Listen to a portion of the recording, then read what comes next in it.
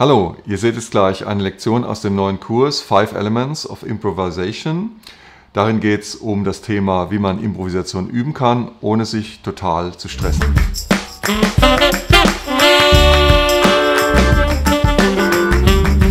Und damit herzlich willkommen hier auf dem Saxophon-Channel an alle Abonnenten, an alle Saxophon-begeisterten Leute, die neu dabei sind und auch an alle Wiederkehrenden. Ich freue mich sehr, dass ihr alle wieder dabei seid. Heute geht es um das Thema, wie kann ich Saxophon, Improvisation üben, ohne mich komplett zu stressen. Das hier ist ein Beispielvideo, also eine Lektion aus dem neuen Kurs Five Elements of Improvisation. Und da demonstriere ich so ein bisschen, wie man das Ganze ohne Stress üben kann, wie man über Akkorde spielen kann. Und ich wünsche euch jetzt viel Spaß dabei und jetzt geht's los. So, hallo, seid gegrüßt. In diesem Video, in dieser Lektion geht es ein bisschen um die Praxis. Ich werde euch mal demonstrieren, was ich euch im Video davor, in der Lektion davor theoretisch gesagt habe. Also es geht darum, wie kann man improvisieren, üben ohne Stress. Ja? Also die Stressfaktoren wollen wir beseitigen erstmal, die wollen wir eliminieren, das ist ganz wichtig. Sonst wir, kriegen wir einfach kein Stück. Ja? Bei vielen ist es so, die, ähm, die haben die Note, die haben das Playback dazu und das Erste, was sie machen, ist eben ja, das Stück versuchen zu improvisieren über das Playback. Und das ist natürlich ein totaler Stress, weil das Tempo und die Time, das treibt. Ne? Und man hat überhaupt keine Zeit und keinen Platz im Kopf, ähm, ja, überhaupt konzentriert sich mal mit den Akkorden zu beschäftigen. Und deshalb ist es wichtig, dass man das erstmal ohne Time macht, einfach für sich von Akkord zu Akkord geht und sich mal überlegt, okay, wie komme ich denn von dem ersten Akkord zum zweiten? Was kann ich da für eine Melodie spielen? Eine, Linie, die gut klingt, irgendwas, das Sinn ergibt. Und dann mache ich das gleiche vom zweiten zum dritten Akkord und so weiter. Ne? Und das übe ich einfach für mich ohne Time, ohne Metronom, ohne Playback und versuche so ein bisschen da reinzukommen, in diese Art zu denken. Ich habe ein kleines Stück mitgebracht, das ist jetzt ein Übungsstück, das habe ich schnell geschrieben. Das sind eigentlich nur drei Akkorde, drei verschiedene Akkorde. Das sind vier Takte, die sich immer wiederholen in einem Loop. Es gibt eine kleine Melodie dazu, damit ihr auch so ein bisschen Anhaltspunkt habt, ähm, außer den Akkordtönen oder den, den Tonleitertönen oder so. Und ich werde es jetzt erstmal vorspielen, damit ihr eine Vorstellung bekommt, wie das klingt. Ist ganz einfach. Ich mache das hier fürs Altsaxophon. Ähm, ist egal, ob ihr Tenor oder Alt spielt. Ähm, das Video dient nur dazu, euch mal zu demonstrieren, wie ihr arbeiten könnt. Ja, mit anderen Stücken auch. Okay? Gut, dann werden wir das mal machen.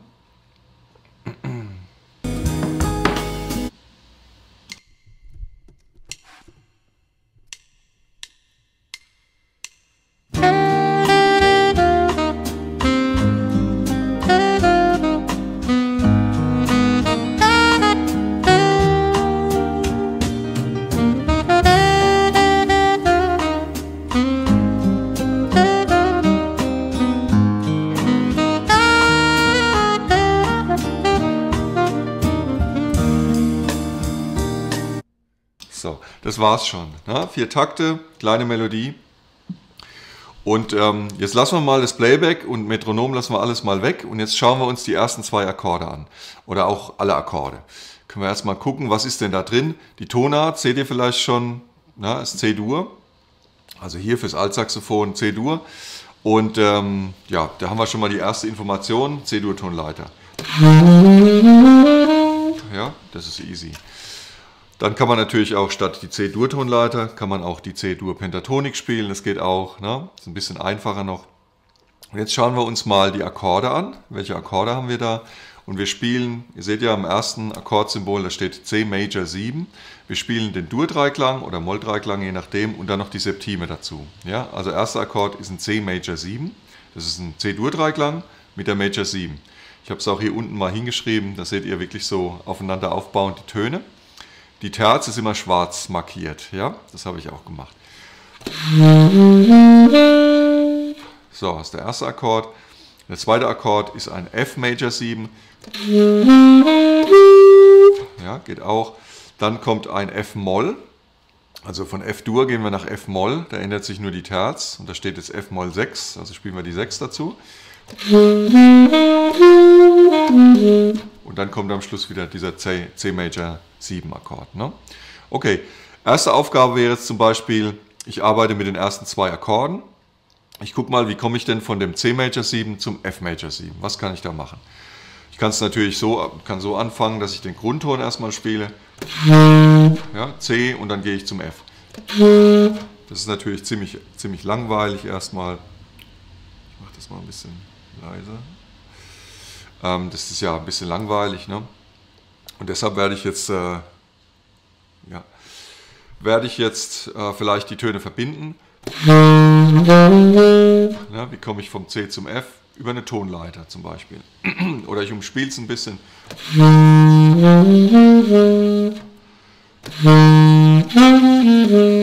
Sowas, ne? Das mache ich ein bisschen. Dann versuche ich vom F Major 7 zum F-Moll 6 zu kommen. Und da ist es ganz praktisch, ähm, wenn man sowas hat, dass man einen Akkord erst in Dur hat und später dann derselbe Akkord Moll wird, dann kann man das, das ist für Solisten super, da kann man einfach eine Phrase in Dur spielen und die dann einfach nochmal spielen, aber in Moll. Ne? Also Beispiel wäre jetzt sowas hier. Und jetzt spiele ich dasselbe in Moll. Ja. Und dann nochmal in C. Ja? Oder anderes Beispiel.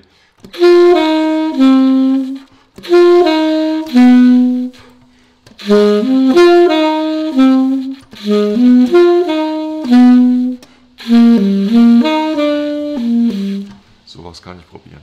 Wie komme ich jetzt von dem F-Moll-Akkord zum C-Major-Akkord? Naja, kann ich mal ein bisschen mit der Moll-Terz spielen.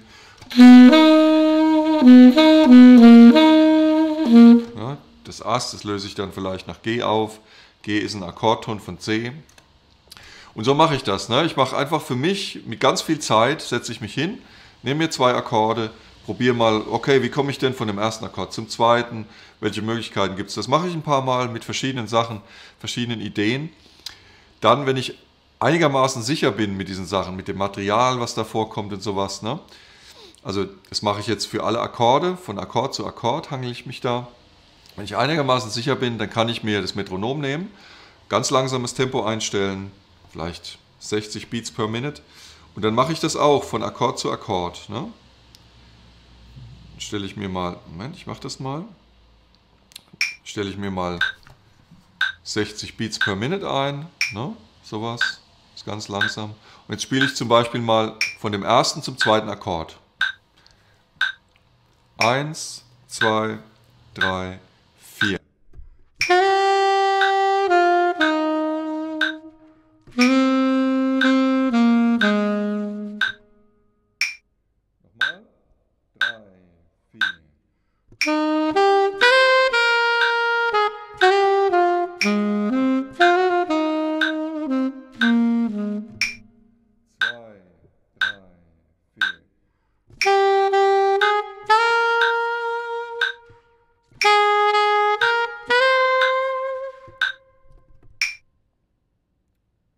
Also ich probiere einfach für mich mit Zeit, wie komme ich von dem einen zum anderen Akkord, mit vielleicht mit einem Metronom, was ganz langsam ähm, klopft. Wenn das klappt, kann ich mir auch das Playback nehmen. Ich kann mir zum Beispiel das Playback, das MP3, kann ich mir in ein Programm laden wie Anytune oder eine App. Das ist dafür da, da kann ich zum Beispiel Loops bauen, kann ich mir die ersten zwei Akkorde im Loop, in der Schleife bauen und kann die mit einem ganz langsamen Tempo, kann ich die üben. Und wenn ich die kann, mache ich die nächsten zwei und so weiter. Ne? Dann komme ich langsam, komme ich so ein bisschen ähm, von Akkord zu Akkord und weiß auch, was ich da spielen kann. Und erst ganz am Schluss ist der nächste Schritt dann, dass ich das mit Playback mache. Am besten ganz langsam, auch sehr langsames Tempo nehmen und dann spiele ich mit dem Playback ein bisschen, ähm, auch vielleicht nur ein Teil vom Playback, vielleicht nur die ersten acht Takte, ne? so ein, ein A-Teil oder so übe ich dann. Und dann mache ich es schneller und dann komme ich langsam in das ganze Stück rein. Also das wäre jetzt so eine, eine Art Improvisation zu üben ohne Stress, damit ich nicht so viel Stress habe. Und genau, das ähm, könnt ihr mal ausprobieren. Auch auf anderen Stücken. Ne? Das war jetzt nur ein Beispiel. Ihr könnt es jetzt natürlich anwenden auf den Stücken, die folgen. Okay? Gut, ich werde noch ein bisschen rumspielen mit dem Playback, einfach noch, dass ich auch ein bisschen was spiele. Könnt ihr noch ein bisschen zuhören, vielleicht merkt ihr auch, was ich mache. Und genau. Wir sehen uns bald im nächsten Video. Macht's gut, euer Bernd.